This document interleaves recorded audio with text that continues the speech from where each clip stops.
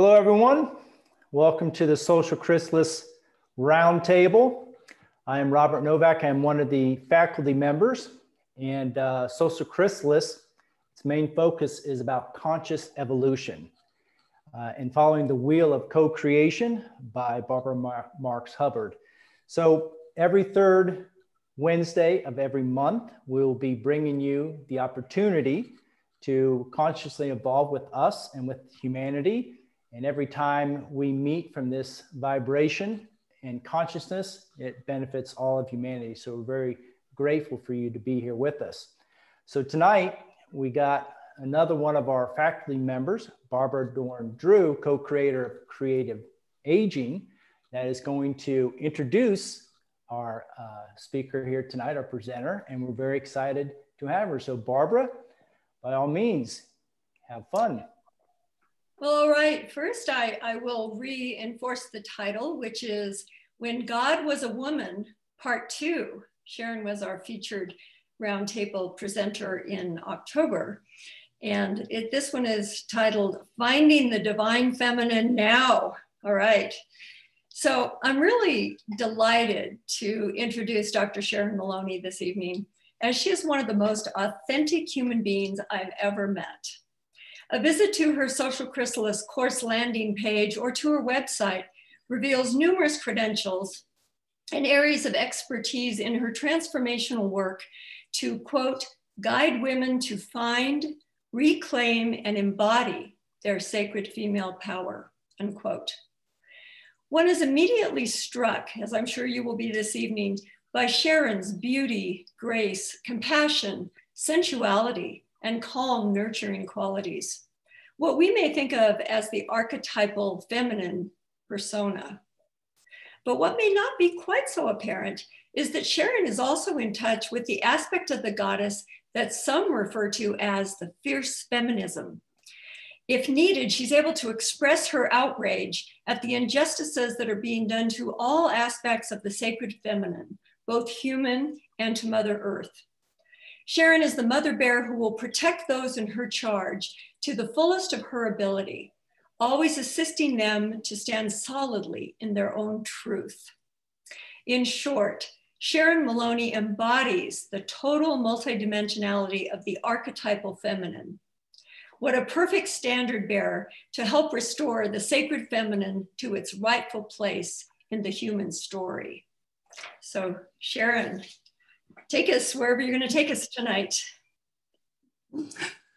Well, thank you, Barbara. What a glowing introduction. I'm kind of like listening to it as if it's talking about somebody else. It's, it's, quite strange when you hear somebody talking you up like that, but thank you for the acknowledgement. And yes, indeed, I am the, um, I guess, the torchbearer for my message. So I do have that fire in the belly about what I'm talking about this evening. And I want to thank everybody who showed up on the call today because it's getting to that time of the year when we're all busy and a bit over it. So it means a lot. So thank you very much for, for my panel, who I also want to introduce briefly. So we have Walter and Barbara who um, run the Creative Aging program on Social Chrysalis, and we have Leanne who runs a, a business program on Social Chrysalis. And we have Rebecca's little picture there. She's not able to make it tonight on the, the um, panel, but she's here as a participant. So um, for those of you who may have been at the part one of this talk, we're going to follow a similar process this evening or this morning if you're here in Australia. And so what I'm going to do is share some, some knowledge, some thoughts, some insights with you for uh, a period of time, and then we're going to shift into a meditative reflection to allow that, that information and knowledge to land inside your body so that it's not just me talking at you. And then after the meditation, we'll have a few minutes of roundtable discussion with the panel.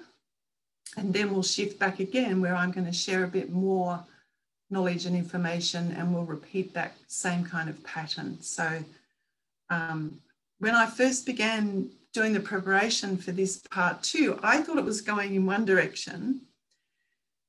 And then, as often happens, especially when you are receptive to the greater, I suddenly found myself going down this rabbit hole into quite a different place than where I had originally thought. And initially, I was like, oh, but I'm supposed to be doing this because I've said this in the email and I kind of wanted to get back to that. But it was very insistent pull that I needed to follow the guidance of where I was led. And so I did. And um, and I have to say, it was quite a challenging time. The last couple of weeks, I've had to really embody and walk my talk about what I'm speaking about this evening. So just know that as we go through um, what I'm about to share with you.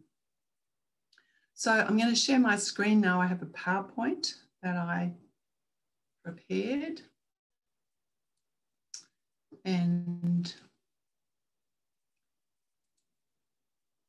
I'll start guiding us through that PowerPoint. I can get rid of that. There we go. So why the goddess?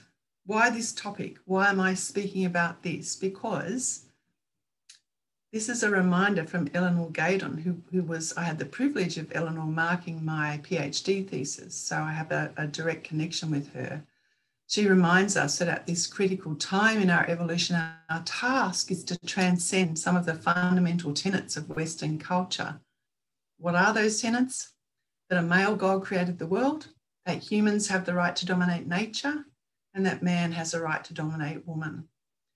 And those assumptions, with their roots in our ancient history, have really brought us to a breaking point. And even though all three of those things have begun to kind of decline, they're still um, very much present in our psyche and in our cultural ways of looking at life and the world. So, in the Judeo Christian heritage, which is what most of us grew up with, God is imaged exclusively as male. Is that poor old man in the clouds? most of our religious institutions are still male dominant, and that whole tradition is partly based on the rejection of female images of God. And I remember when I was studying this, doing my thesis, that one of the authors that I studied, well, quite a few actually, named this one sided focus of the deity as male as a form of idolatry, which I had never thought of before. But it kind of went, ah, oh, that's actually right. It's worshipping part as if it's the whole.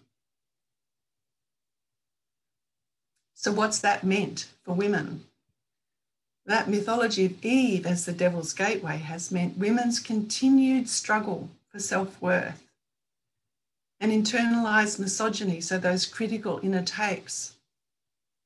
And then centuries of female infanticide, which is still going on today, physical sexual abuse, domestic violence, and homicide. They're pretty sobering realities for women and for men. So, why the goddess? Because the symbols and myths and practices from that ancient pre patriarchal era enable us to re sanctify the female body.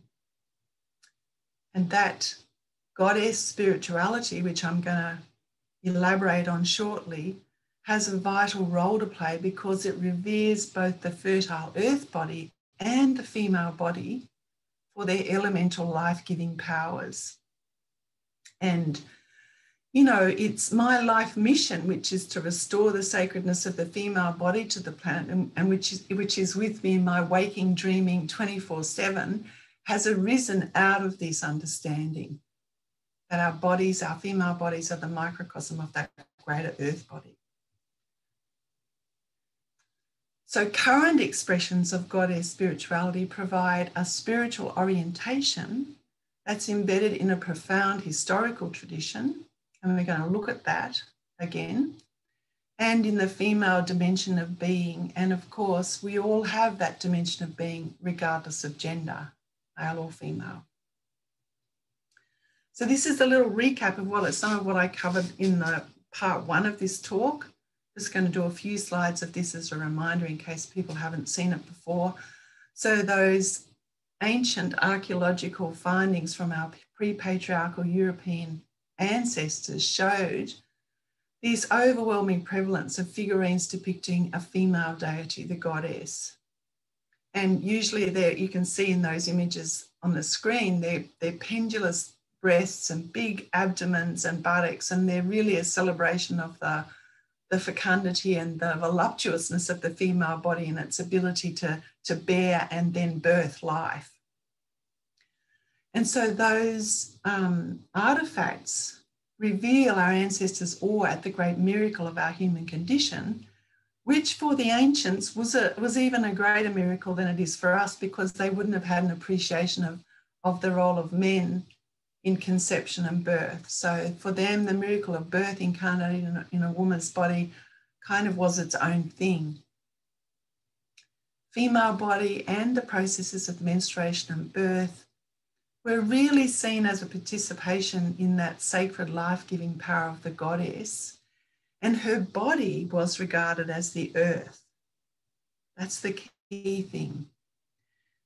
And so, this goddess worship was well organized, highly complex, more than a religion, it was a lifestyle, it was a whole way of life that existed for some 30,000 years until the beginning of the patriarchy about 4,300 years ago. What was the social significance of venerating a female deity in the female body? Women were key cultural agents, so they're largely depicted in the public sphere.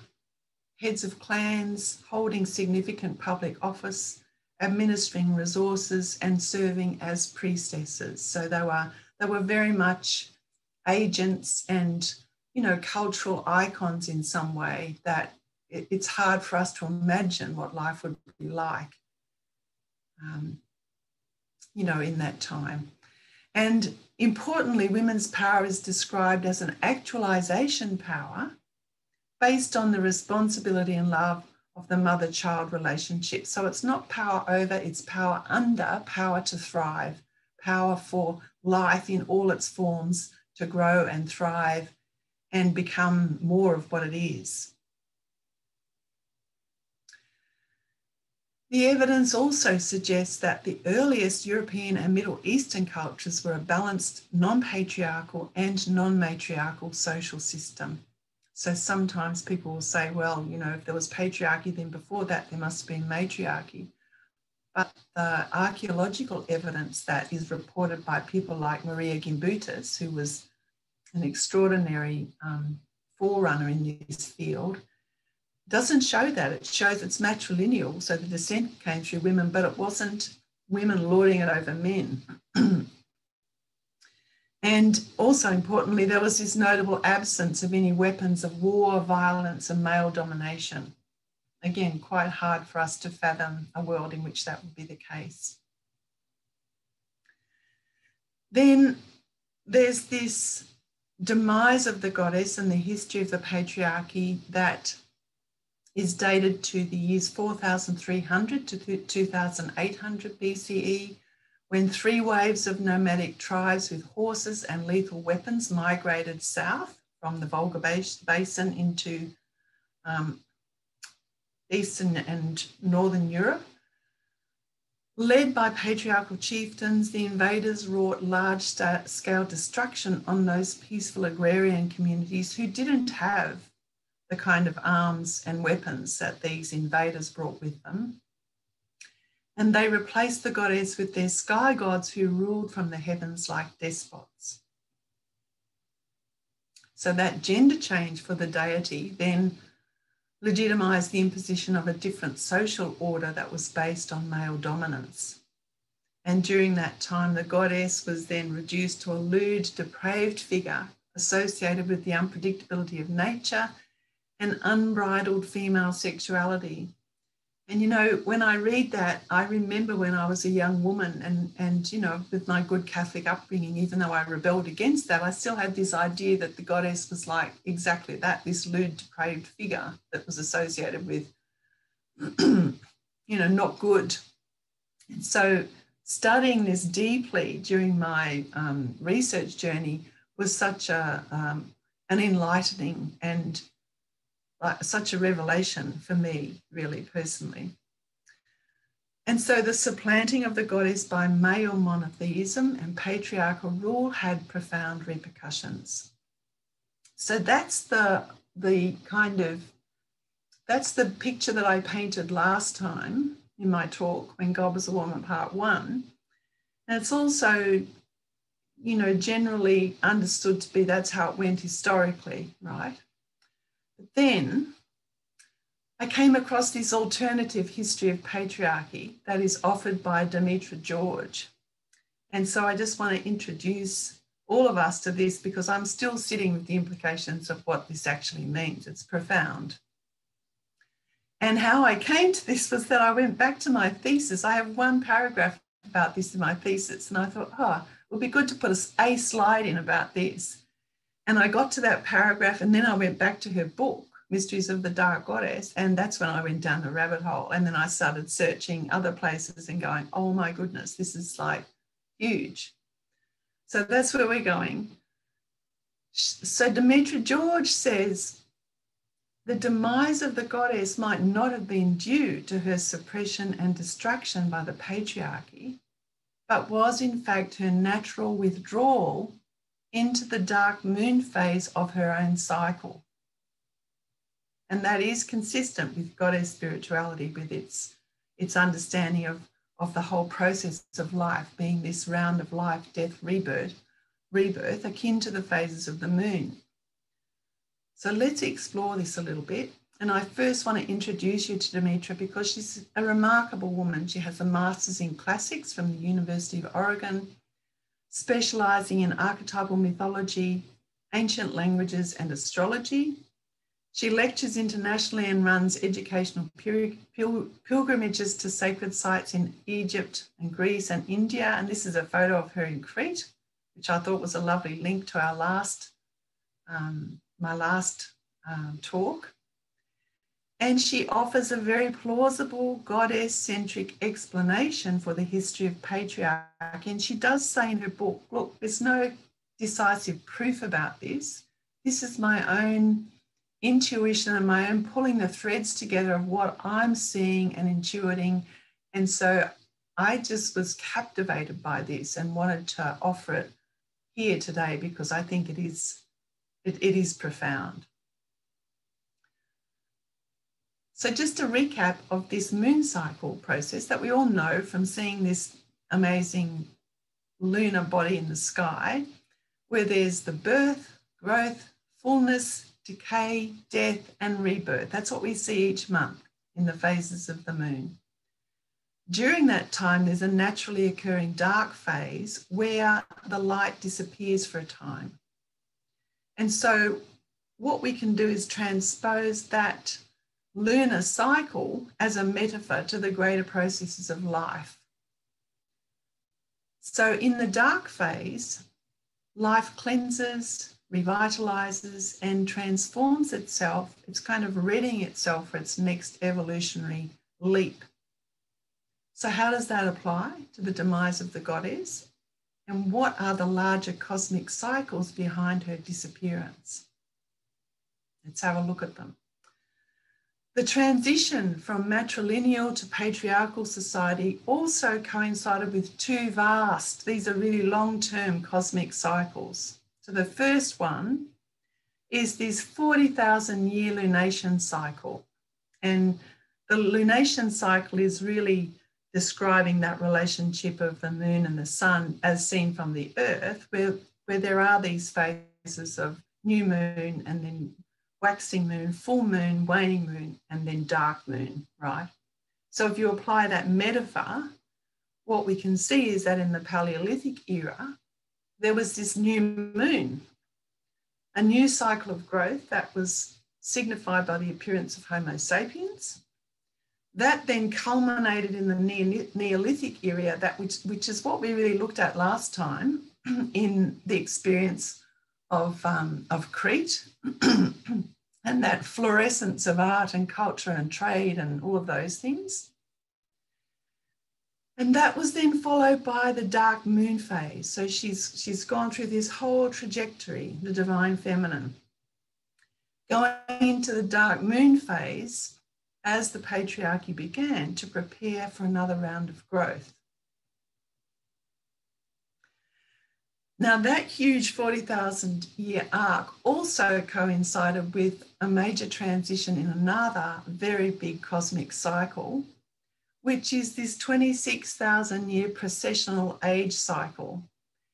And the precessional cycle is this wobbly pivot of the Earth on her axis that's caused by the protuberance around her equator being pulled at by the sun and the moon. And so it's like a, a, a child's top, how it spins on its axis. and as you can see in the, the diagram there, that little circuit takes a full 26,000 years to complete. As it does that, the North Pole shifts. And so the, the vernal equinox also shifts. And this is where we get the precession of the ages. So, you know, most of us have heard the discussion about how we're at the moment, right in this precessional age shift from the age of Pisces into the age of Aquarius. And I understood that as a thing, but I didn't understand how it was connected with this precession of the earth. And so when I was I was reading um, Demetra George's description of it, I was like, oh, that's amazing. And and at that time, at the beginning of the patriarchy, there was the shift from the age of Taurus, which is feminine in its qualities and so on, into the age of Aries, which is quite masculine. So, so it's it's fascinating to me that these two overarching, very big cosmic cycles are happening right at that particular shift, the beginning of the patriarchy. So these, this is her take, Demetra George's take on the evolution of Homo sapiens during that past 6,000 years as the feminine principle withdrew into her own dark phase. The masculine principle moved out to shape the mindset and beliefs of humanity. Cyclic right brain processes, which would have been the dominant feature in pre patriarchal times, then ceded to linear left brain dominance a male god and men rose to positions of worldly and spiritual power. And the dark phase of the cyclic re- renewal became feared and avoided. And the result of that, this is her quote, spoke to me very powerfully, so I want to read it again. In a society ruled by solar white consciousness, we have been taught to fear, reject, devalue and disempower all that is linked with concepts of the dark. So, people of colour, women, sexuality, menstruation, nature, the occult, the pagan, night, the unconscious and irrational, and death itself.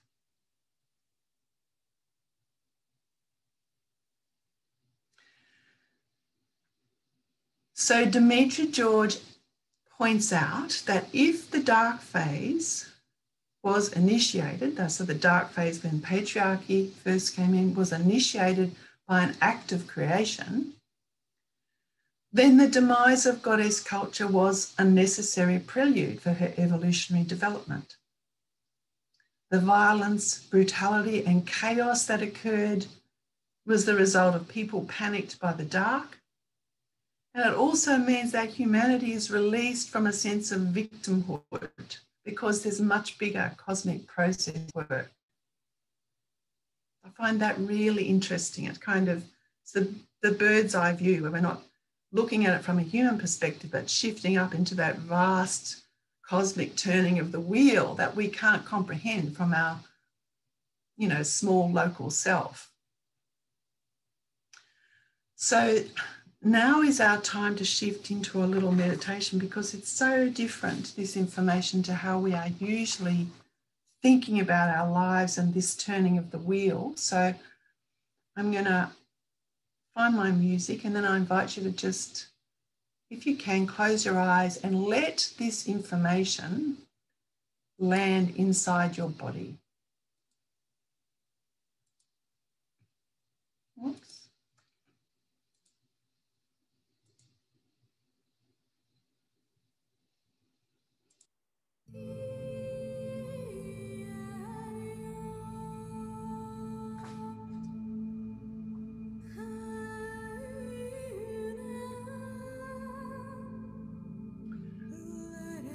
So let's take a metaphorical journey into the landscape of the dark moon. We go through a dark moon phase whenever there is a closure of something a job, relationship, belief system, living environment, our worldview. A loss of a form that's given our life structure and a sense of identity. The dark phase also spans the interval of our transition to something else, a new beginning. And in the dark is where the transformation occurs. Here, matter contained by a form that has fulfilled its function and used up its vital store of energy disintegrates back into pure energy. The high frequency vibration of this medium, transformative process, cleanses and energizes this prima materia and prepares it for renewed and revitalized form making.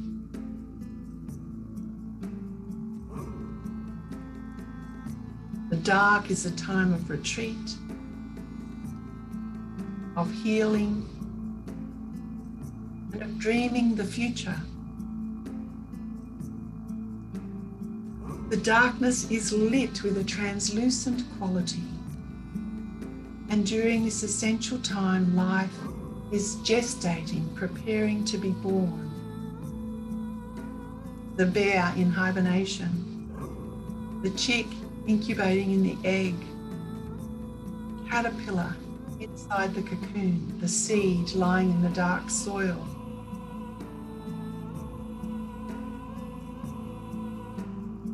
Right now, we are collectively at exactly this place, finding our night eyes.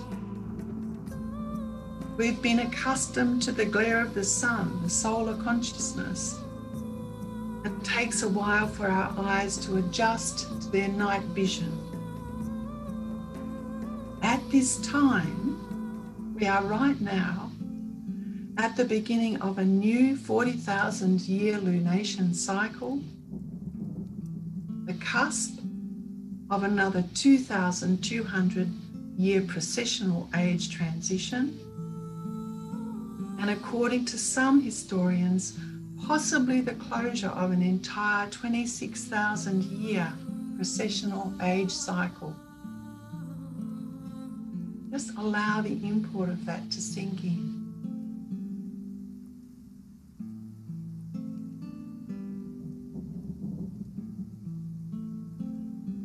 I invite you to remember that the dark phase is initiated by an act of creation. Knowing this organic process as benevolent and trustworthy can enable us to move through the transition with trust and faith rather than fear and panic. In the lunation cycle, the dark phase is followed by the new moon, the emergence of new life, a new form.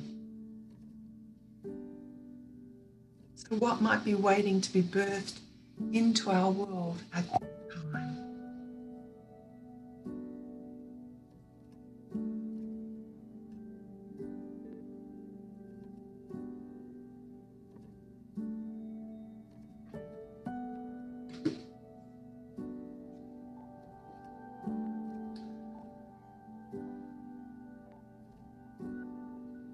so I'm going to invite you now, my panel friends.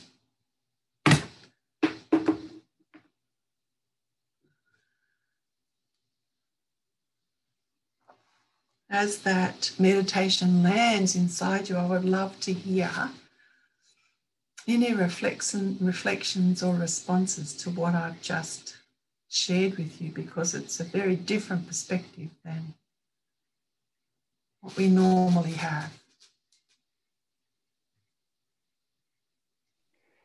it definitely um, gets into the whole, uh, I want to say, rebirthing process. Even the uh, meditations you took us through, it's, it, it's um, which of course I never heard the, the things you shared about this. So it's, it's very intriguing and definitely in the aspect of, you know, the, you know, the darker aspects, whatever else, um, it's probably, you know, also like a hard time you know going into meditation sometimes because you have to go into that stillness sometimes that void that nothingness. And i do believe that's some of what you're you're, you're getting at. And um, and why we don't go there sometimes because you know there is you know this unknown and it seems dark but also know that in that nothingness or that void where you think nothing's happening you know creation is happening um, so I think it's very interesting um, uh, perspective, and um, and that's what I got out of it with what you shared, and then also um, the meditation as well. Mm. Yeah, thank you, Robert. It's um, it's kind of like we we know this because we live it. We we all regularly go through these cycles, right? But we we tend. I'm going to talk about myself now. We mm-hmm. tend tend to think that there's something wrong when I'm in that dark phase, but it's actually a natural process that that we go through, that the moon goes through, that the earth goes through, that the ages go through. It's like from micro to macro. So yeah, yeah thank you. And, and, and people do struggle going there. Yeah. Right. Sure. And, and, and that's uh, it's very uh, int- yeah, intriguing. Very nice. Yes. Thank you. Yeah, I will say that it, it is a very different perspective, but it feels, as you were talking through it, it feels very natural. It feels, you know, very um, organic and, and I, and, and right. And it, you know, just seeing around me these past, I would say the last 10, 15 years, especially, you know, the feminine really, um, you know so many individuals male and female really stepping into the energy more and more and and healing through you know a lot of that past of that persecution of that you know you know what, what happened to the female. So it, it just it it feels very much like truth and mm. and it's giving me permission to go into that dark quiet cave to create mm-hmm. right i i'm i'm, I'm actually like in there right now and and so often it feels like mm-hmm. no i need to be accomplishing da, da, da, da. you know we need to be doing manifesting and doing all these things but yeah it's such precious time so so just by hearing that i feel like it gives me permission to to really honor and allow it to happen in myself so thank you yeah, such a such a great um, affirmation, Leanne, of what I was just saying. You know that that cycle is is is part of our experience, and if it was normal and accepted, we would all have this collective shared understanding that that it's okay to be able to do that, right? Right. Um, right. The thing I want to emphasize is that that that as we experience that as normal and, like you said, organic and natural, it's really important to remember that that's the bigger picture frame as well because if that's if that's what's going on then we can trust that process too. You know? absolutely. Absolutely. And what an exciting time. All of these major major endings and new beginnings of new eras well right? and, you know, yeah and it gets us out of this sense of victimhood you know? Like we're, we're actually participating in something now that is that is trustworthy. And we have a very important role to play which i'm going to talk about shortly. So yeah thank you. Yeah barbara. Well this this is mind-blowing to me sharon. I encountered the concept of as above so below when i was in high school back in 19 probably 65 mm. and it blew my mind then i said i felt it like this is a truth this is a truth of life that we are the microcosm, as you just mentioned, of the macrocosm. And so often I think most of us, we were not raised to look at ourselves as part of a bigger system in any way, shape, or form. Mm. And um, to me, this is really amazing because most well the last 2000 years has been coming into a new age being in the middle of it around a thousand right? And now we've been in the dissolution or the the the uh, ending of this piscean age which was all about duality. And it was so male versus female black versus white. I mean everything was uh, good versus evil all of these concepts that were brought yes. in you had the taurus age, which you said was feminine, and the Aries age, which was masculine, then you have this sort of pitting them in, in duality as an age, and you have the dying God. So even Christ was a crucified God, you know. And so did yes. that lead to? So now we're on the tip just the very beginning, the, the song, and we're dawning of the age of Aquarius. And I have, I feel like, well, I want it to be in the middle of it. You know, this is the beginning of it. We can feel it, we can taste it, but it's about the age of unification. It's harmony and understanding. It's all about oneness. It's accepting all of our brothers and sisters in all of life, the spiritual and the material. And so, if you look at this whole evolutionary cycle of um, 26,000 years, we're in a pretty interesting place and unfortunately, we're just sensing, you know, that's, and I'm even thinking the pandemic has put us into this dark place, what we would have considered a dark, bad, ooh, careful, we have to go into ourselves and be separated from people. Maybe it's the reflective time we need before the new moon. I mean, the new moon, Aquarius, and it's is starting to be in its new moon phase. So, but we have to, Barbara Marx Hubbard said, there has to be a breakdown before a breakthrough. So we have to be willing to let go of that Piscean duality and start. I mean, it's at the beginning, but some of us, the evolutionary pioneers, feel it. We know the truth of it. We know that humanity is so much more than what we've been. Finally. So thank you Finally. for placing it in this proper perspective. I'm so excited. I can hardly stand it. thank you. I, it's like the relief, you know, the, the sense of relief. And, and, you know, I have a little quote here that talks about cuspal periods, which is what we're in, this uh-huh. cusp, uh-huh. can, can span 500 years. So this is not an overnight job, you know, and yet here we are, humanity poised right at this moment where we get to make our contribution. And that's what I'm going to talk about next, that it talks about this quote I have here like vast sonic plates shifting deep in the collective unconscious, this transition is manifesting as a series of seismic changes throughout our world the pandemic, the climate emergency, species extinction, and so on. It's like we're right there. Wow. So, so this is a good point into the next piece that I want to share. Hey Sharon, just um, so real thank you. real quick. Your uh, your husband has a really good point here. He, he put in chat. And I want to share it. Uh, he says the sense of the void being emptiness, nothingness, is perhaps a patriarchal perspective, whereas uh, a feminine mm-hmm. perspective, uh, the void is full of absolute and total potential, and going there is to immerse ourselves into this potential and opening ourselves to what it means for me, my community, and the universe. Yes. So I think that's well spoken. Yes. That's so true. Thank you, Jared. It's so true. It's so true. And you know, we we are finding our night eyes. And you know what it's like when you've been in the glare of the sun and then you go into a dark room, you, you can't see anything, you're blind. And then as your eyes adjust, you can see this shape and that shape, and you can find your way it's it's the same with what Jared's just said about the void. It's not a nothingness, it's full of all of these potentials. So thank you for pointing that out. So I'm going to go back. I unpinned myself, Robert, just to let you know so that we could come onto the panel. So I'll share my screen again and we'll continue.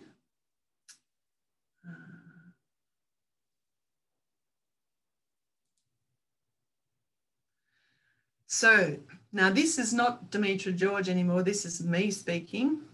In the past century, something exceptional happened that has never happened before in the history of humanity or the history of the planet.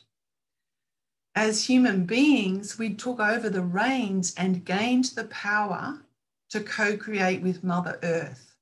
So, this is kind of like when I think of it, it's like the, the natural consequence of her withdrawal and masculine power coming to the fore. It's gaining control and the power to co create with Mother Earth. This is a really sober point for us to be facing right now. So, this is a quote by Thomas Berry. We now, in large measure, determine the earth process that once determined us. Right? The earth, who controlled herself, I'm not talking her about her as a thing, I'm talking about her as an intelligent, conscious being. The earth that controlled herself directly in the former period now to an extensive degree controls herself through us, right? What are the repercussions of that? Carbon dioxide levels. Look at the, I mean, this, we all know this, but I want to do a brief recap because it's the consequence of our now controlling the earth processes. Currently, carbon dioxide levels are at 415 parts per million and rising. That's a 47% increase since the beginning of the industrial age when it was 280. So you can see there that timeline at the bottom is 800,000 years where this is, we're in completely uncharted territory now. This is the latest measurement as of last month. Carbon dioxide has now reached 415 parts per million. So you can see at the bottom left of the graph in 2000, so in the last 15 years, 2005, it was around 380 parts per million. Now it's up to 415. That's a significant rise in 15 years. And a cap, we're talking about a cap of 450 parts per million, is technological doable. We can absolutely do it. We have existing technologies to do it but would be the greatest achievement in the history of the human race, according to Joe Romm, who's a physicist and a climate scientist and a, a science reporter as well. And, and I agree with him, but we, we actually have to do it. This is from Al Gore's Climate Reality Project. These are just, I'm going to flick through them quickly because we all know that our global surface temp temperature has risen dramatically so has our ocean temperature risen dramatically. Hotter years typically have more fires. We've seen that in your country in the US. We've seen it in our country here. Last year it was decimated by the worst fires ever. And we have these worldwide extreme weather catastrophes. And all of these things were forecast by the IPCC reports starting back in the mid 90s. So now it's here, it's arrived. So the problem, this is Arkan Lushwala, who's a Peruvian ceremonial leader. I heard him speak recently. The problem, we put ourselves above everything, and it's not true that we're, we're that big. So we need to not put ourselves as superior to the rest of the world. The only thing that is superior is the unity of everything. We are suffering because we stopped doing the work with the others the plants, the animals, the rivers, the lakes, the stars. We are all part of life. We all have a talent, and we all need to pull our talents together. That's what the ancient people did. So that's that's the wisdom of an Indigenous elder. i i first heard about Arkan Lushwala through the Pachamama Alliance because I'm on their e-list and I get their their um, you know their their gatherings and he spoke recently and that was that was I thought was such a succinct description of what we're actually confronting right now. So just take a moment. I just want to pause for a moment because that's a lot of really potent, sobering information. Just take a moment to breathe, to let it sink in, to remember that the dark phase is initiated by creation, that it's followed by the new moon, and that she is returning now.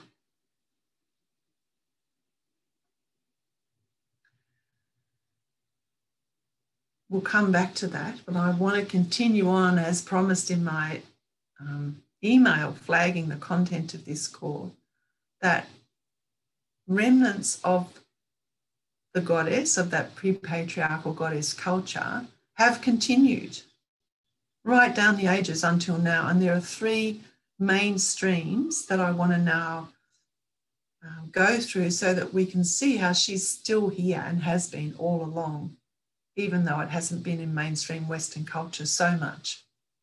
So the three mainstreams are some Indigenous peoples, some Eastern traditions, and in the Saigean dreams of contemporary women and men. So, first of all, we're going to look at Australian Aboriginal culture. Indigenous Australians have always honoured sacred women's business, the mysteries of menstruation and birth. And so, uh, Hannah Bell, who's I'm drawing from here, lived for a period of time with the people, the Ngarrindjeri people of Western Australia. And there's this belief that womb blood feeds the unborn, providing identity, form, and spiritual connection with the physical world. In that community, sex differences are seen as akin to right and left hands, physically and functionally different, but without hierarchy. And I want to acknowledge that, you know, the dreaming, which derives from this geospiritual source in the ancient Australian landmass, and I live in this country, I was born in this country, and I can tell you it's profound. When I went out to Uluru after I'd finished my thesis, I could feel that geospiritual source coming up through my body and the first time I ever saw Uluru, which is right in the center of the country, I just dissolved into tears immediately. It's just so compelling. So, this is a country, the dreaming represents the longest continuing religious belief documented in the world. That's a quote from, from, um, from Flood in Christopher Knight's um, book. Some estimates are that Indigenous Australian culture has been here for 60,000 years, and some more estimates are that it's been here for double that time. Ancient, ancient lineage that we have the privilege to, to live amongst. Rainbow serpent is a key element of the dreaming and it's ritually linked to menstrual synchrony. There's, there's a whole cosmology around that. So I'm just drawing out some small snippets of it that correspond to what I'm talking about with regards to the divine feminine and the female body, but there's a whole, you could spend lifetimes fathoming the symbology of the rainbow serpent and the dreaming. And I'm not an Indigenous person, so I also want to acknowledge that this is my perspective of having studied it rather than, um, you know, having been born as an Indigenous person and, and been raised in that law. Indigenous paintings, you can see an example of one there, depict the snake as a rhythmic line, a flow inseparably associated with the body of womankind. And one of the core meanings of the rainbow serpent is the cyclic round of alternation, metamorphosis, and change. So it's very clear the, the analogies and the resonances with our ancient pre patriarchal goddess cultures. Then there's the Indigenous American traditions. So in the Navajo, there's Changing Woman, who's the female deity and daughter of Mother Earth and Father Sky. When I was doing my studies, I came across these descriptions of the Kinaaldá Menarche ceremony, and I just, it just was so deeply healing for me to read and study and understand and know how Navajo girls had the opportunity to experience a ceremony that lasted for five days that was participated in by the whole community when they began menstruating. Imagine how your life would change if that was your introduction to yourself as being a menstruating human being, a fertile woman and during that ceremony, the initiate is understood to become changing woman. So she's mentored and taught about what that means, the responsibilities, the connection with the cycles of vegetation and plant life and human life. The Apache also have a similar tradition where Menarche is a proud time of celebration and a girl is welcomed into womanhood by her whole tribe. And they have a becoming, becoming a woman ceremony where the girl again dances to reenact the legend of changing woman, who was the female deity and also the ancestor of the Apache origin story who birthed their nation.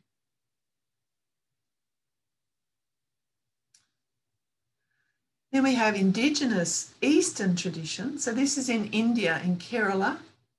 Goddess worship continues today, and menstruation is revered and publicly celebrated as a participation in the creative power of the goddess. And that that um, the woman who did that research, Diane Jenett, um, she's a colleague I met in San Francisco years ago, and I went over to share my research findings. She did an entire PhD on this Pongala ritual. It's extraordinary. So in 2009, which was the last census that was taken, this Pongala ritual um, made the Guinness World Book of Records for the largest number of women gathered in one space, and they recorded 2.5 million women participating in this Pongala ceremony. And, you know, those women come from all around the country. They, they it's a cooking ritual, so they, they cook this, um, a kind of dal porridge, I think it is, and it's participating in this ritual is believed to increase their own personal power as well as the Shakti power of the goddess and her capacity to help her devotees. I think that's amazing. I'd love to go. And then in the north of India, in Assam, there's still matrilineal communities who see the earth as the living body of the goddess and the monsoon rain as her menstruation. You can see in the picture, long line of those beautiful women in their saris.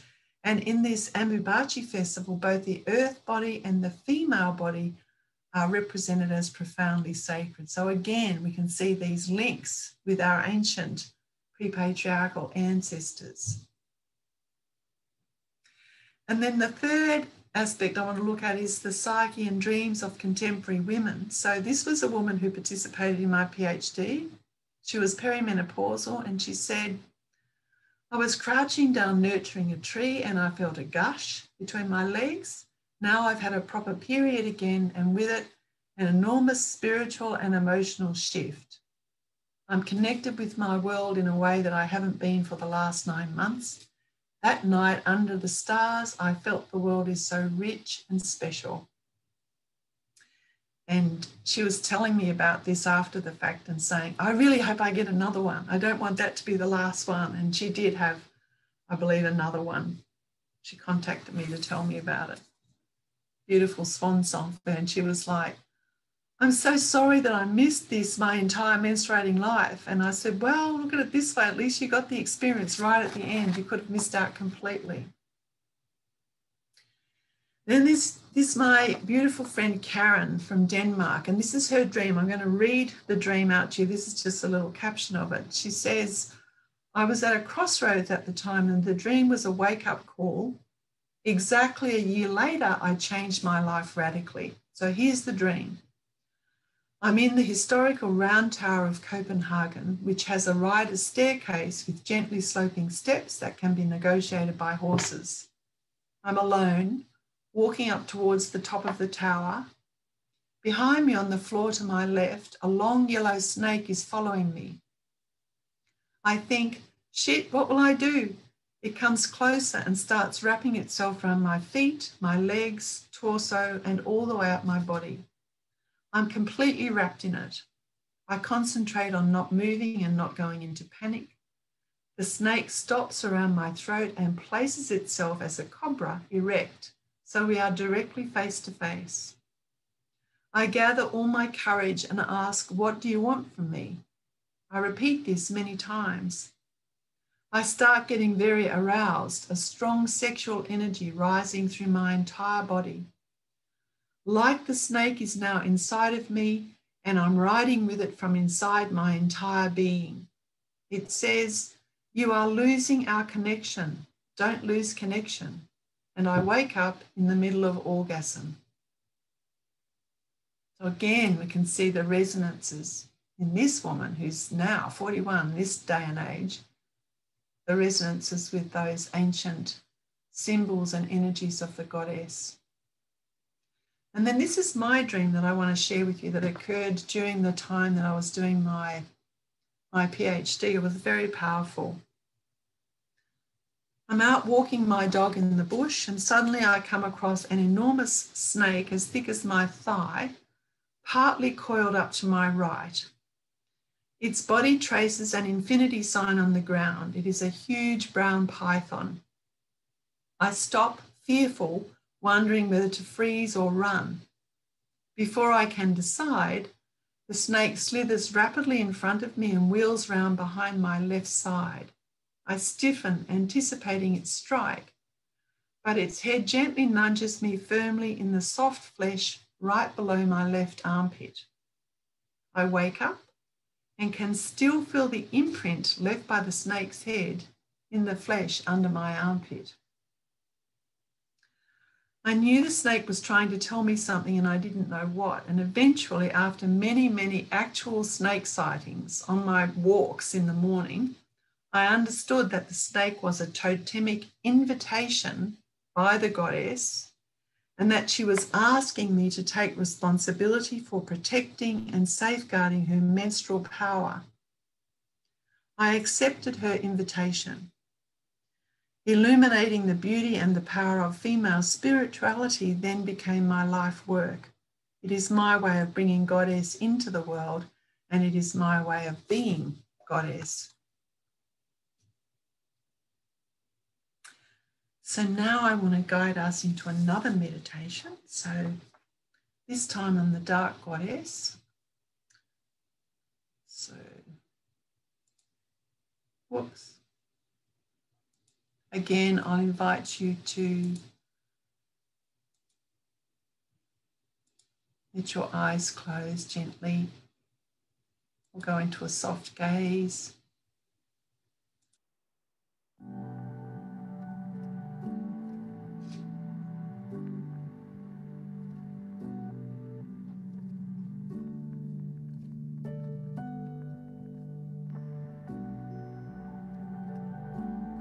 When the goddess went into her dark phase, she ensured that precious remnants of her ways were kept alive by those who lived close to her body, the earth.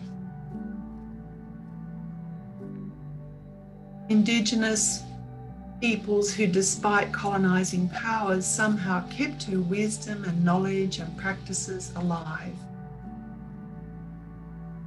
We thank you, wise ones for carrying these treasures in your bloodlines down the long ages until now.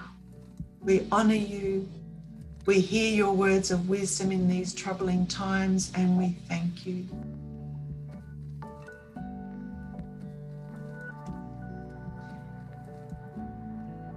In those early societies that revered the dark goddess, people knew and loved her as wise and compassionate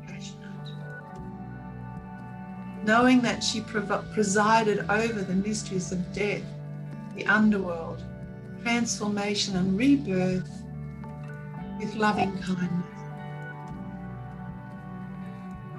The ancient teachings held that death was a birth and that sex can be an ecstatic portal to healing, regeneration, and spiritual illumination. The wisdom of the dark goddess is grounded in her inner truth and fearlessness. Completely at home in the dark, she is filled with compassion and understanding for the frailty and folly of human nature. The goddess is not a victim. She did not have her power taken away and she did not relinquish it. Women are not victims. We have always had our power.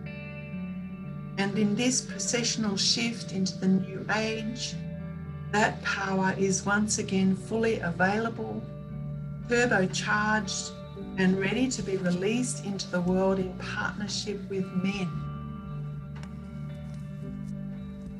And what of the men? This is wisdom from Pat McCabe, another Indigenous elder, a Dene woman. The function of the masculine is to serve the life bringer, the life bearer, the feminine. And it needs the direction from the feminine in order to know what to do.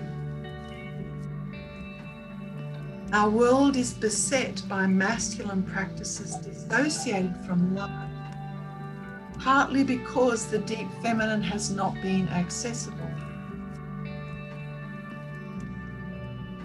The masculine needs grounding in the sacredness of matter so that its gifts of abstraction of getting things done serve the greater processes of life. So when we invoke the feminine principle inside ourselves, women and and inside nature to guide us, we gain access to creative powers and solutions that cannot be found separately.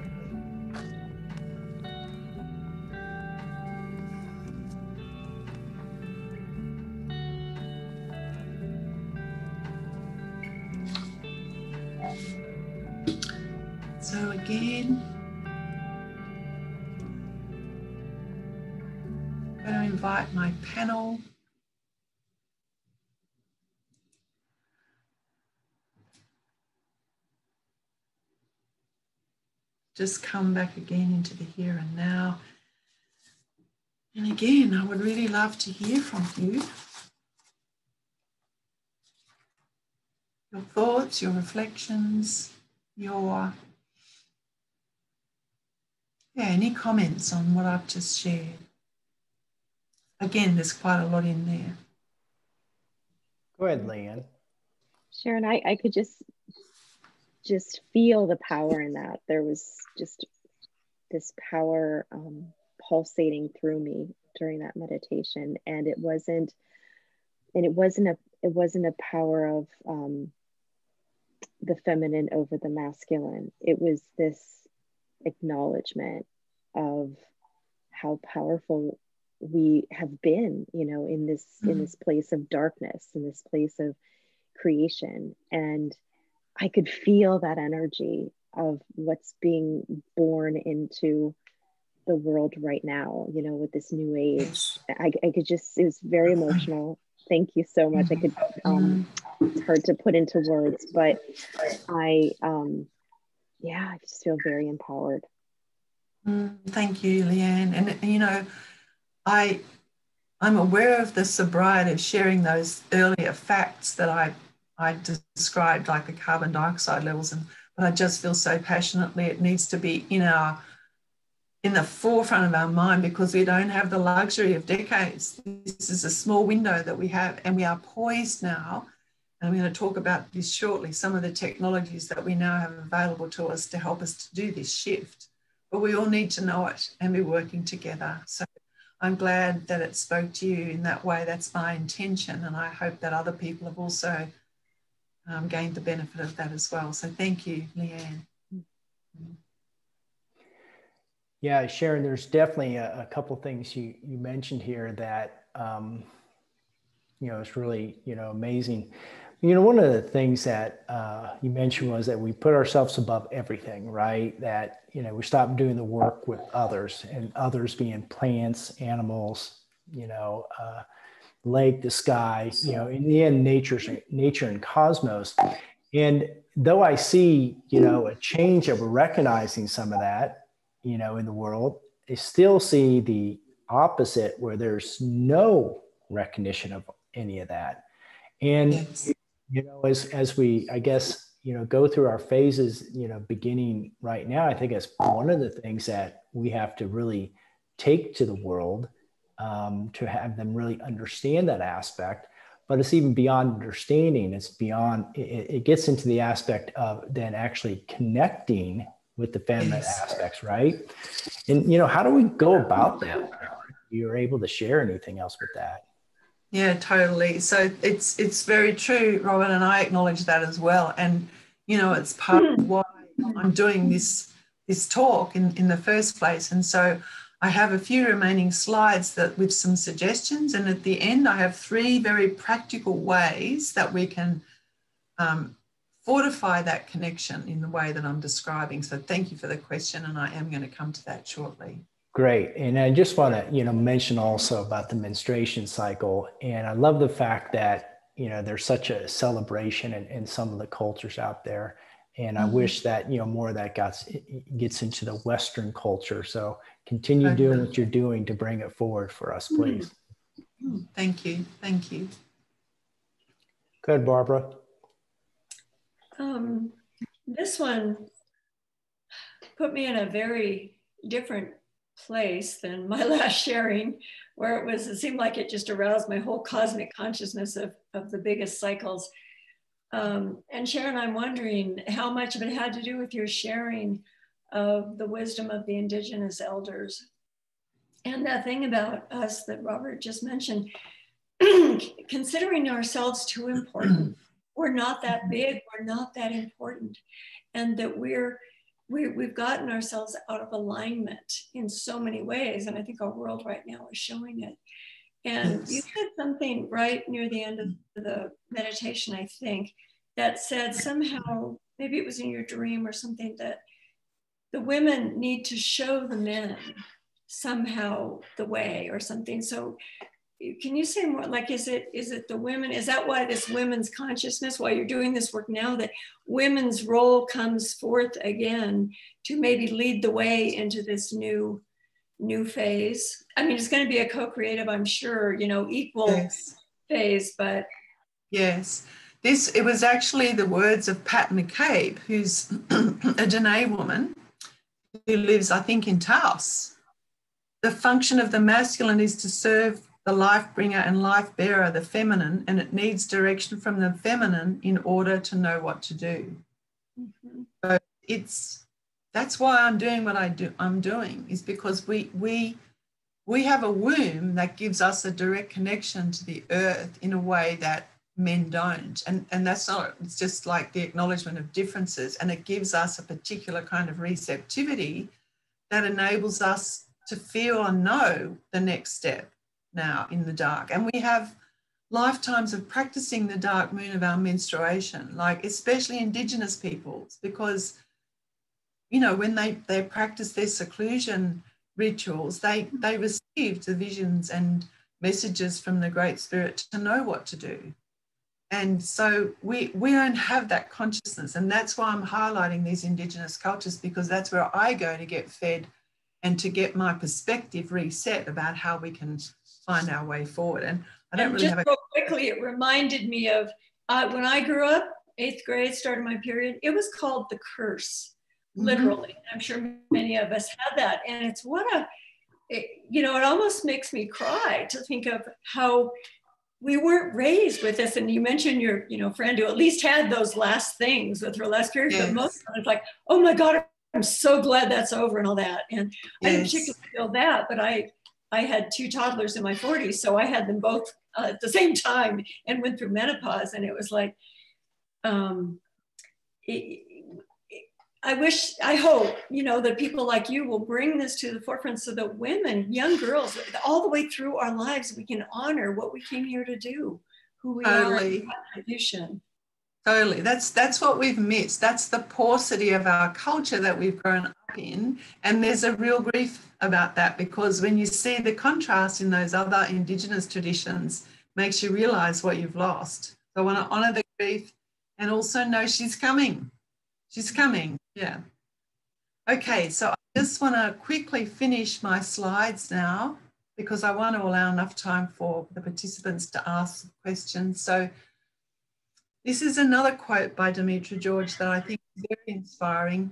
The feminine principle has been reborn on another turning of her evolutionary spiral, We're currently at the new moon phase, she has released a new vision that is now germinating in the mind stream of humanity.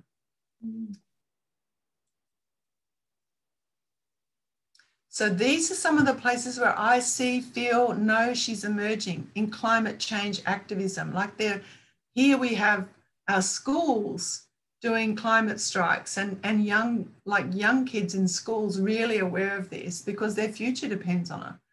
We have sustainable technologies. I'm going to share a couple of them in a moment. The environment movement, which is with gathering momentum all the time. Social justice, particularly around gender, race, the new economics, spirituality, and most importantly for me, from my perspective, within the female body, because when we reclaim the sacredness of our bodies, we reinstate the goddess and her values in the world. We really do. So these are just some of the sustainable technologies that I and we all know of. There's solar and wind, geothermal. This ocean cleanup really inspires me. You know, in the Great Pacific Garbage Patch, it's three times the size of France it's estimated that these technologies can eliminate that garbage in five years. I'm very inspired by that. And then this is Andrew Bailey's Enviroplex climate restoration strategy. This is a brilliant piece of sustainable technology. So this is a design that permanently captures carbon dioxide from these big fans at the top of the structure here, converts it into water, organic food and 3D printable dwellings. It can be scaled really big, it can be scaled really small. So this is like under one roof, the solution to so many of those problems. And I had the good fortune of, and privilege really of engaging with Andrew last year when I was in the Evolutionary Ambassador program. And that's how I found out about his amazing technology. And when we had our fires here last year in Australia, I, I so wanted for the government down there to know about this because it could start being implemented as alternatives for the for the um, rebuilding um, program that needed to happen. So it's important to know that that that these technologies already exist. It just needs to be accelerated, and we need to have the political will and and um, groundswell of people demanding that this need to happen. It's no longer enough to wait for governments to get it because, you know, they don't. So finally, my call to action is that my intention is to create a global network of women who are dedicated to living the sacredness of our bodies. And you know, when I was sitting in my meditation with that this morning, was like, I need a number. What how like i can't just say that vague thing to the universe. How many women do i want? Well i'm going to be really ambitious and say i want a million women in this network right around the globe who are holding the intention like i am and living the sacredness of our bodies because that's what we can do. And when we do that and really tune into it we get what's ours to do the next doable step some of the ways you can be involved in my passion is by, by getting my book, Activate Your Female Power. There's also my online program through the social chrysalis. So, Robert, if you want to put the link to that in the chat so people can access it, it's the same platform that this Zoom is happening through. And once you have either my book or are enrolled in my program, then there's also a private Facebook group by the same name that you can um, request to join. So, and then that's all my references. So I'm going to stop my share. And um, yeah, I'm interested to see if there are any questions from our audience. Doesn't even have to be a question. It can be just um, a comment or a reflection or how what I've shared may have touched you. If you'd like to come on, I think, is it through the Q&A, Robert? You can raise your hand in the Q&A or you can put it in the chat and Robert can bring you in. Exactly. So raise your hand and I'll uh, allow you to talk, bring in a panelist. Here we go. So we're promoting Eloise to a panelist. If you would uh, unmute yourself.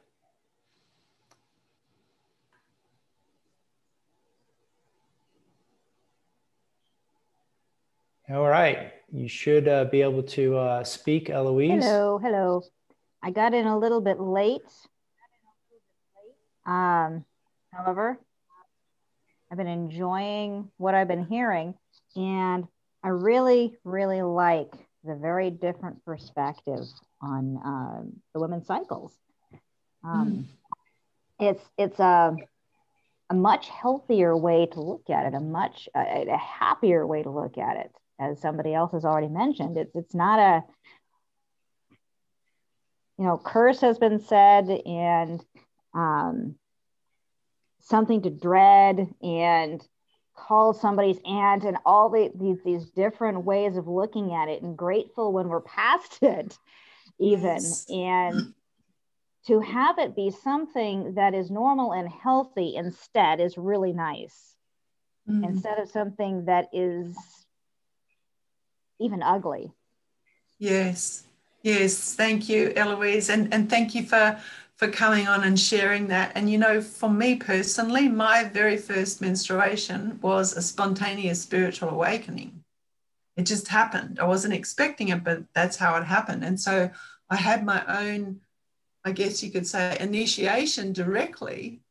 And then it was always my own private secret. I, I made a vow before my first menstruation that I would always honor and never complain about it. And I lived that vow my entire life and in some ways it inoculated me against what you know the menstrual shame that's out there and that was part of my what i examined in my phd was this phenomenon of menstrual shame mm-hmm. and what i identified was that menstrual shame is a key patriarchal organizing principle because if you divest women of their menstrual power then they're much more compliant you know and if they're if they're shame for one week out of every four for all of their lives how are they going to do what they came here to do. So yeah, thank you. Thank you. You're welcome. Thank you. Thank you. I, I remember there was one lady, there was one lady on Facebook one time that was talking about um, the pain that she would experience and the the anguish mm-hmm. and it was something for her it was something dark but she had also made her peace with it partially as a result of someone that she was in love with who was they were the same in that regard except that he was a guy so he didn't have a menstrual but it was her way of experiencing something that was actually dark. Yes, right, right. And imagine how things could change if these much healthier and, and happier attitudes and cultures were worldwide. Totally. The world would be very different. It would be very different. Would be extremely different. Yeah. And and women would be you know, girls would be so at home in their bodies and carry that pride. And that quote that I had of the Apache woman, Kachina Skootenai, she said, you know, you feel differently about your period after you've had get, gone through that ceremony, the becoming mm-hmm. woman. Now carry that poise inside you. And I think I yeah. got that gift somehow not through an external ceremony, but just through the blessing that came to me. And ever since then, I kind of felt like I had an obligation to pass the baton, you know? Yeah. And imagine it actually being something to look forward to. Yes. Instead of being grateful that you passed it. Yeah, well, I used to be you know, like that. Every time my my bleed arrived, I was like, "Oh, there's my friend," and I always felt grateful that it was it was you yeah. know there. So yeah. it was a time of grieving for me when when I went through menopause and it was finished. So yep. yeah, thank yep. Wonderful. Thank you're you. welcome. oh, you're welcome. Uh, the snake, the snake aspect. Snakes have never scared me, and I like that, and I like the very different perspective on perspective on this and this as well. And I wanted to mention right. that. And any right. any any information regarding how we can, um, how an individual can contribute, how we can all come together where the, the climate is concerned, where, you know, all the, the, the, the how we have, how human beings have systematically trashed the planet. Yes. And how we can come together, even if, you know, when we're not doing it deliberately, but we're still, you know, not consciously, okay, I'm going to throw out these plastic bags so that I can clog the oceans. No, that's not happening. No. But it's still a mentality that needs to change. And it's that's right. the leadership that needs to change and coming together and saying, wait a minute, as a collective voice. That's right. That's right. And the care, the care for this beautiful planet. Yeah, absolutely. Mm. Absolutely. And seeing seeing the energy of things, there's a disconnect between, in my opinion anyway, there's a disconnect between, you know, everything is energy, and yet a lot of people, there's not uh, a connection. There's a disconnect between. I'm not quite sure how I want to put this or exactly what I'm yes, trying I to say. Understand. And I understand, and that's what Robert was referring to earlier. So this might be a good place. So thank you, Eloise. This might be a good mm-hmm. place for me. I said in my email that I wanted to share three things, three practices that we can do that are, um, you know, simple, pragmatic things. So the first one is to lie on the ground on your belly with your left ear to the ground and pour out your heart. Tell her as an act of prayer, tell her all about it, whatever it is. And then when you've poured your heart out and, and spoken it all, turn your right ear to the ground and listen. Just listen. All your concerns, all your whatever, you speak it out and then turn your right ear to the ground and listen. So that's the first practice. Second practice is to find a body of water, like a river or a lake or an ocean. I have the incredible good fortune of having a river at the bottom of my garden, and so I go there frequently. Pray to the water goddess. That's her arteries, right? The rivers. Pray to the water goddess of the rivers, lakes, oceans, springs, and streams. Give her, especially when you're in turbulence or distress or there's strong emotion present, I go and give her my emotion because how the water element shows up in us as humans is through our emotion. And then again, listen. This is this is how we connect and plug back in. Listen. She's there. She'll respond. She speaks to me. She gives me insights and words of comfort. And one time I was down there not long ago crying, and she told me my tears were like precious diamonds you know, she, she responds in kind. So that's the second thing, find a body of water. The third thing is find a tree in your neighborhood and befriend the tree. I have, I have three trees down the river that I connect with regularly. So find a tree, circle the, three, the, the tree clockwise three times and ask if you can befriend it. And if you get a yes, then ask its name. Then tell the tree about yourself and why you want to connect. And then listen. Listen, because you can't be in a relationship if it's all just you talking. You want to connect with these the earth, the water, the tree, and listen. Be receptive. Sharon, I love that. That's amazing. Thank you for sharing that. Um, as we, you know, uh, start closing here, any other final uh, comments from any of the attendees or panelists? Sharon, you shared so much wisdom with us, and I'm so grateful that you have. Um, and definitely, everyone, we you know want to take Sharon's call to action to get her book, her program, A Social Chrysalis, and we will follow the the link in the um, follow-up email with recording everyone and definitely share this with everyone. This is very you know amazing um, information sharon has given to us to not just ponder but to shift into and that's what's so great and then we can actually start you know sharing with more. Yeah thank you robert and i, I feel like for me personally it's it's too big a vision for me to carry on my own. I said this in the last talk as well. I, I need my community of women who who also deeply believe in this and who also feel the urgency of what's happening with the planet and are are committed to doing their bit for it. I need that community of women because it's too big for me to do on my own. So if if what I'm speaking about speaks to you deeply, then please connect with me because I need to know you and we need to be in this together. We need to be in the ship, finding our way forward together. I would love to hear if there are any other remaining comments from anybody. We've got like four minutes. Somebody yes, would love to. Please. And, and, you know, by all means, you know, Sharon, I know you're looking for a bunch of women, but you know, this man you know, supports you too. So oh, we'll make you, sure Robin. we move things forward. thank you. Yes, of course. Well, yes. we, we, you know, we, we as women, I need men guys like you and Walter and my husband Jared to have my back so I can do what I'm doing fearlessly. Yes. There's security Yes. that comes having a man have your back for you that when that's not there, something significant is missing. Yeah, exactly, exactly. So here we uh, we're going to allow uh, Lisa to uh, be promoted as a panelist and to talk. Um, Right. so we're having Lisa come in here. Right. And then I saw Walter with his hand up. So we'll go to Walter after Lisa. Thank you, Walter. So we're getting you to mute here, Lisa.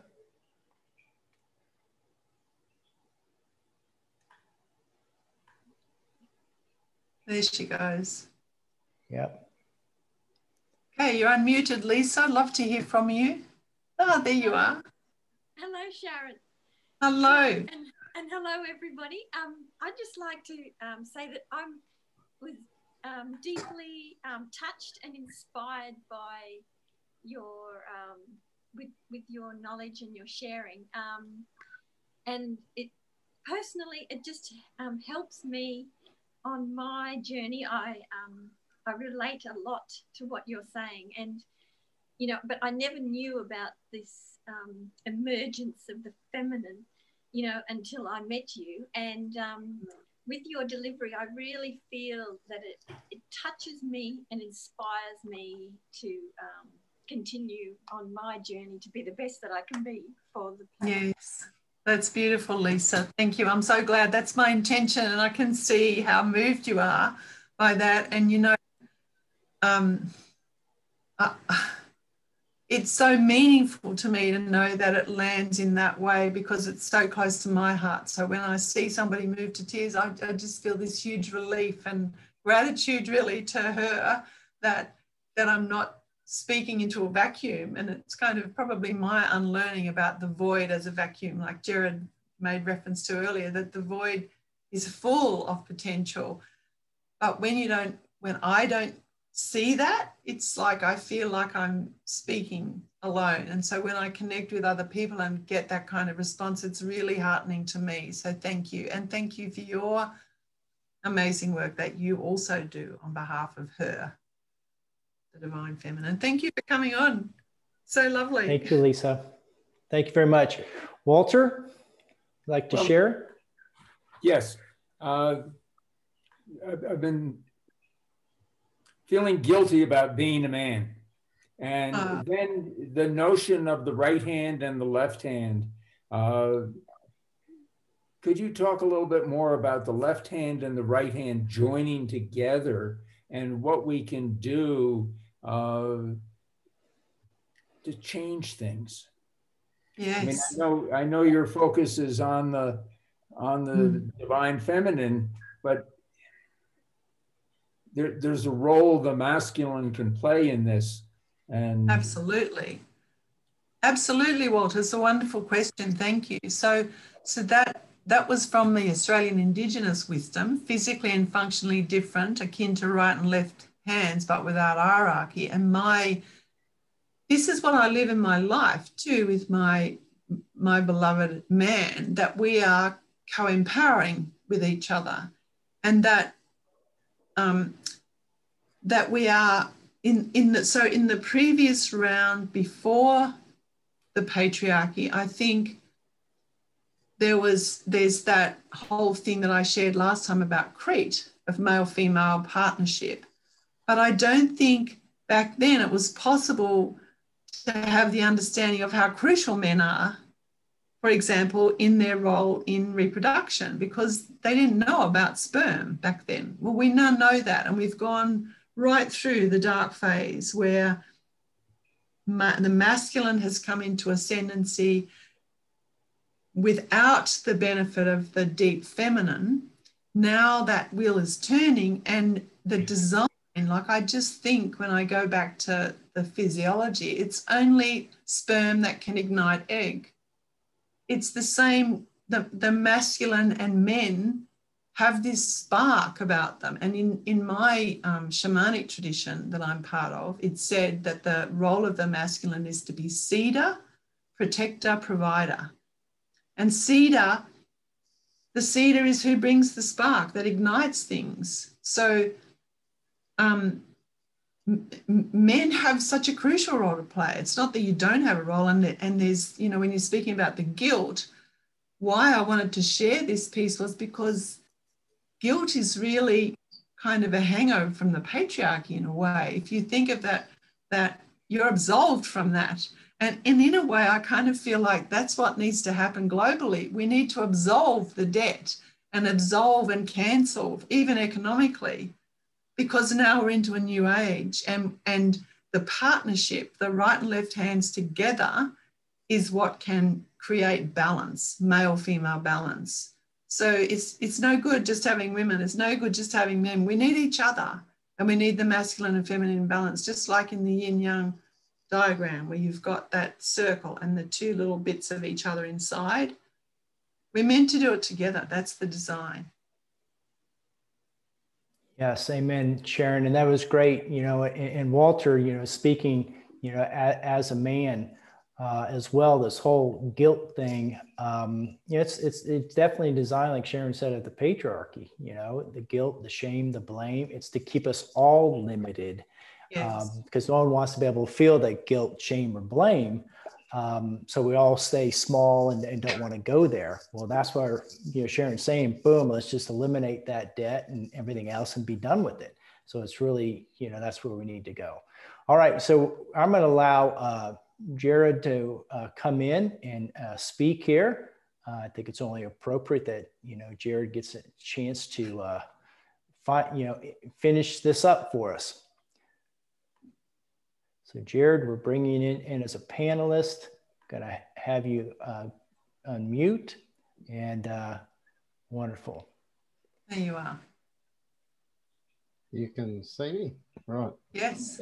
It's probably, I just wanted to comment uh, on what you said, um, Robert, about that, um, the effects of patriarchy. I remember in the, I think it was the 70s, I read a book by a lady called Baker Miller, I think, and she was a, an early feminist. And, um, and uh, one of the things that was uh, I particularly sort of connected to was that she said, patriarchy doesn't just affect women, it affects men because men are not who they are in patriarchy.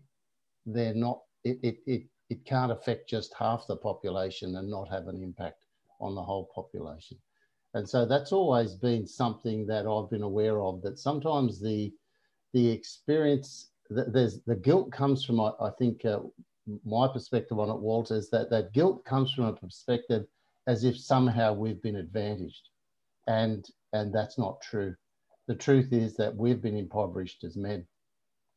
And I would even use the word that patriarchy in some way, while it presents some power over, it emasculates men.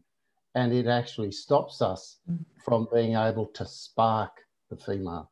Um, and, and I don't mean just in a sexual sense, because the sexual function can happen and we're still emasculated uh, because we're not bringing that spark energy into the relationship with our feminine. And the feminine are the holders of the space that can take the spark and create something beautiful out of it.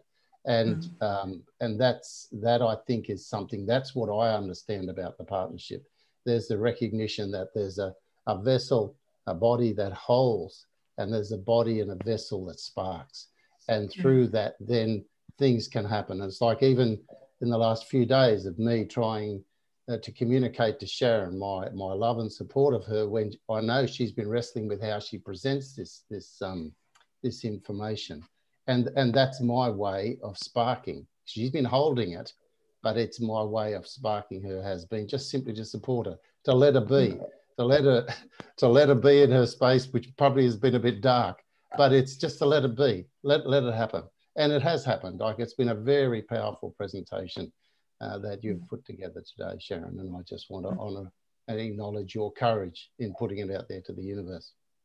Thank you. Mm. Thank well, you. Thank well you. spoken and lovely.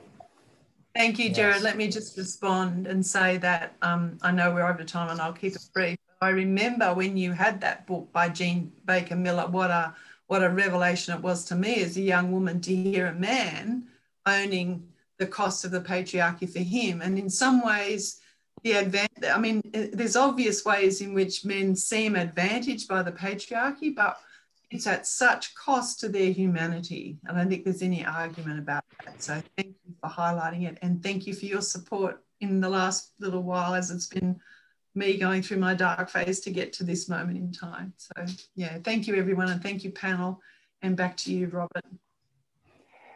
Yes, thank you, Sharon and panelists, attendees. We're so grateful for you joining us, and we are looking forward to seeing you again uh, in January for another roundtable. And we'll give you more information uh, about what that's going to be. So watch for your email. All right, everyone. Thank you so much. Have a great holiday season and a new year. It's going to be amazing. All right. Bye bye now. Thank you. Bye.